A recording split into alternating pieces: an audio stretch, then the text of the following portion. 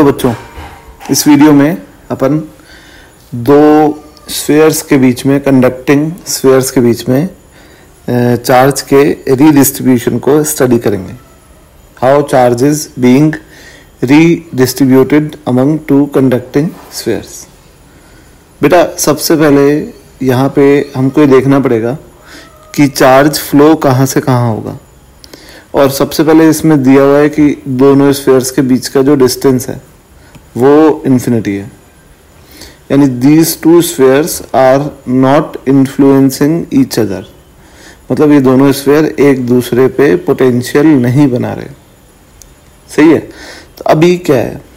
अभी आप सबसे पहले देखो कि फ़र्स्ट वाले का पोटेंशियल क्या होगा? V1 जो V1 होगा पोटेंशियल ऑफ़ फ़र्स्ट स्फेयर वो सिर्फ़ खुद की वजह से होगा। और खुद की वजह से k into two q by r ये होगा पहले स्फेयर का पोटेंशियल के क्यू बाय आर और जो दूसरे स्फेयर का पोटेंशियल होगा, वो होगा k into two q by two r है ना? तो आपको दिख रहा है कि V1 is greater than V2 therefore charge will flow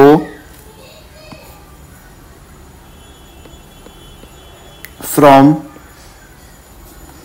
one to two charge one से टू जाएगा, क्योंकि चार्ज पॉजिटिव है और पॉजिटिव चार्ज फ्लो होता है from higher potential to lower potential अब ये अगर पूरा एक सिस्टम मानो इसको। तो इस सिस्टम का चार्ज कितना है टोटल फोर क्यू तो जो भी चार्ज का लेन देन होगा डिस्ट्रीब्यूशन होगा, वो इनके बीच में ही होगा आपस में। है ना? तो सिस्टम का total charge will remain constant four Q ठीक है? तो अब जो है अगर हम देखें कि चार्ज इसमें रीडिस्ट्रीब्यूट हुआ और कब तक होगा? जब तक होगा, जब तक दोनों का पोटेंशियल इक्वल ना हो जाए। है ना? जब तक दोनों का पोटेंशियल इक्वल ना हो जाए। तो let new charge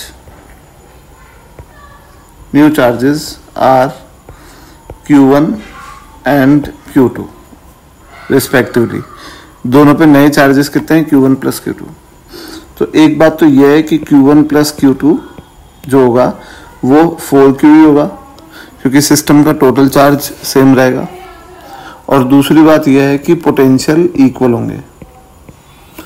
तो potential k Q one by R will be equal to k Q two by two R तो ये के से के कैंसिल तो Q1 one upon Q two is equal to one by two and hence अगर अपन ये वैल्यूज़ यहाँ रख देंगे फ़र्स्ट इक्वेशन में, ठीक है?